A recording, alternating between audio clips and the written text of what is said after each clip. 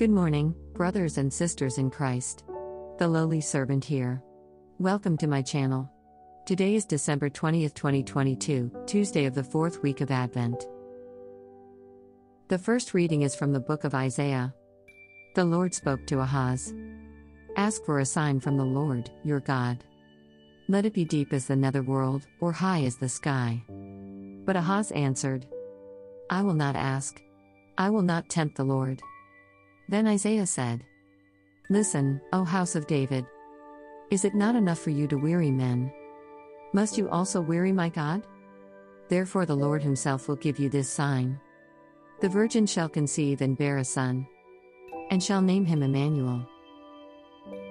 Responsorial Psalm Let the Lord enter, He is the King of glory. The Lord's are the earth and its fullness, the world and those who dwell in it. For he founded it upon the seas, and established it upon the rivers. Let the Lord enter, he is the King of glory.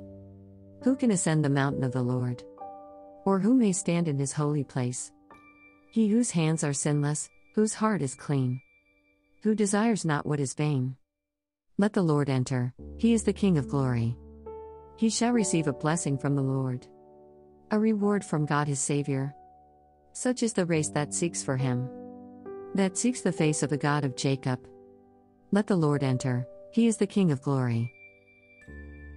Alleluia, Alleluia. O Key of David, opening the gates of God's eternal kingdom. Come and free the prisoners of darkness. Alleluia, Alleluia. The Gospel according to Luke. In the sixth month, the angel Gabriel was sent from God to a town of Galilee called Nazareth to a virgin betrothed to a man named Joseph of the house of David. And the virgin's name was Mary. And coming to her, he said, Hail, full of grace. The Lord is with you. But she was greatly troubled at what was said, and pondered what sort of greeting this might be. Then the angel said to her, Do not be afraid, Mary, for you have found favor with God. Behold, you will conceive in your womb and bear a son and you shall name him Jesus. He will be great and will be called Son of the Most High. And the Lord God will give him the throne of David his father. And he will rule over the house of Jacob forever. And of his kingdom there will be no end. But Mary said to the angel, How can this be? Since I have no relations with a man? And the angel said to her in reply, The Holy Spirit will come upon you, and the power of the Most High will overshadow you.